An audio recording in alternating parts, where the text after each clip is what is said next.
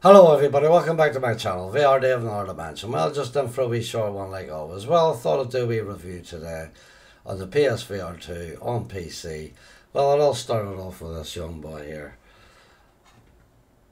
The adapter. Well, I have a PC built-in Bluetooth.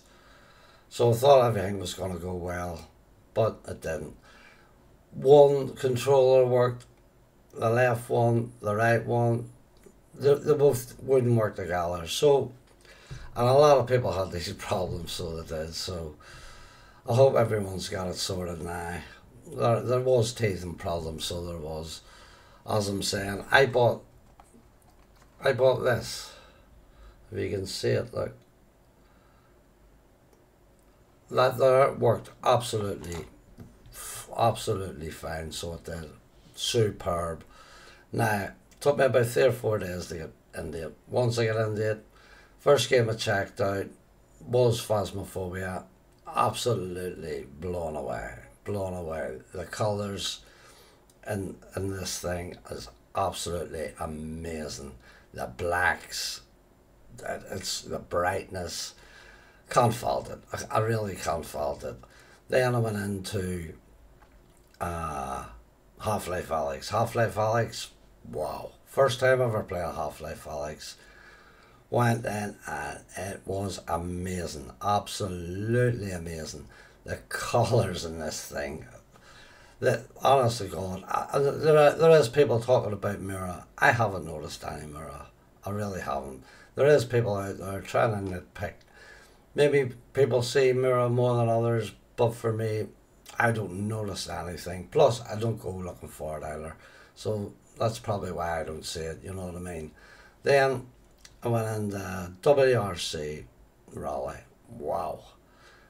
Again, graphics superb, run on medium.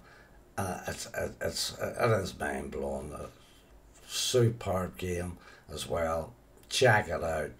As I'm saying, the graphics, the colours, the brightness it's second to none. It is up there with top VR headset, so it is.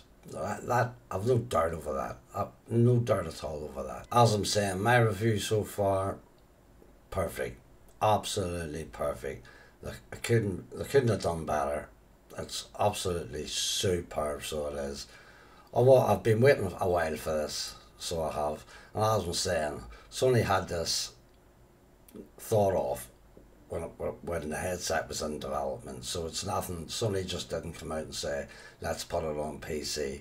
Once it was, the headset was launched, Sony started working on this. So as I'm saying, people were saying that that's it, finished. Well, well, they're wrong. So Sony were working on this from the very beginning. So as I'm saying, just done for a wee short review so far, my thoughts so far, and uh, honest to God, if you haven't got it, go out and get it. It is absolutely superb, so it is unbelievable.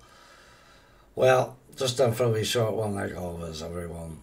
Hope you liked the wee video. Hit them likes, it does help the channel, so it does, well appreciated. And thanks very much for everyone for backing up the channel, putting the comments out. Love it.